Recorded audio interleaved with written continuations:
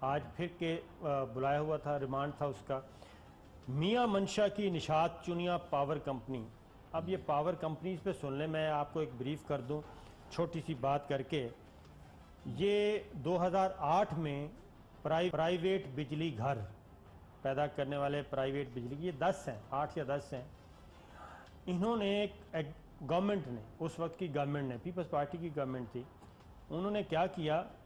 انہوں نے کہ جی اگلے پچیس سال تک بجلی پیدا ہو یا نہ ہو منافع آپ کو ملتا رہے گا پندرہ پرسنٹ۔ اور وہ لے کتنا رہے ہیں آپ کو پتہ ہے؟ پچھلے دس سال میں کتنا لے چکے ہیں؟ پچاس ساٹھ ساٹھ فیصد۔ اور جب ان سے پوچھا گیا بلا کے تو یہ کہتے ہیں منشا صاحب کی بات ہو رہی ہے ان کی کمپنی کی۔ تو کہتے ہیں کہاں لکھا ہے کہ ساٹھ پرسنٹ ہم نہیں لے سکتے؟ انہوں نے کہا کہ جب آپ پندرہ پرسنٹ لے رہے ہیں لے سکتے ہیں تو پندرہ پرسنٹ کیوں لکھا؟ ساٹھ پرسنٹ لے رہے ہیں اور اگلے پچیس سال اگلے مزید پندرہ سال تک انہوں نے ساٹھ پرسنٹ لینا ہے۔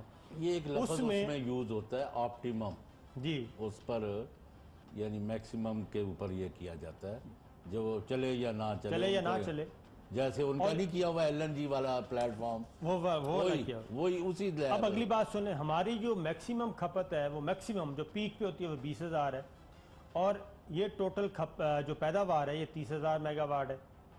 دس ہزار میگا واٹ آپ پیدا کریں یا نہ کریں پیمنٹ آپ نے کرتی رہنی ہے۔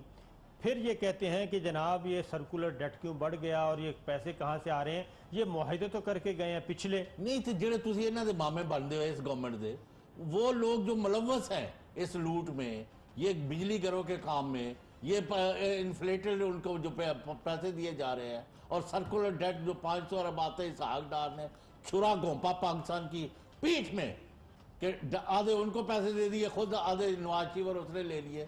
کبھی آپ نے ان سے پوچھا؟ اور یہ ندیم بابر اور اس طرح کے لوگ جو ہر چیز میں ملوث ہے اور اس میں ملوث ہے اس کو آپ نے یہاں پر بٹھایا ہوا۔ ان کو تو آپ پوچھتے نہیں ہیں۔